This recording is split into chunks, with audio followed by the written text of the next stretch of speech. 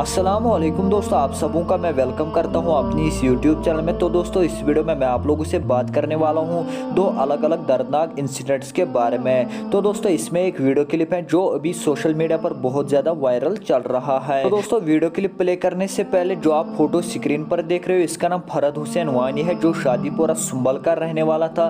दो दिन पहले इसकी शादी हुई थी, लेकिन इसको ऑयल टैंकर ने टक्कर मार दी, जिसकी वजह से इस भाई की डेथ हुई है। है तो दोस्तों अब मैं आपके सामने जो वायरल वीडियो क्लिप है वो प्ले करूँगा जो अभी सोशल मीडिया पर बहुत ज़्यादा वायरल चल रहा है उसके बाद मैं आपसे आगे की बात करता हूँ उससे पहले मैं आप सबों से रिक्वेस्ट करता हूँ अगर चैनल पर नए हैं तो मेहरबानी करके चैनल को सब्सक्राइब कर दीजिए और साथ ही बेलाइकन को भी आनेबल कर देना क्योंकि आपको इस यूट्यूब चैनल पर अपडेट्स मिलते रहते हैं चलो दोस्तों आप इस वीडियो क्लिप को देख लीजिए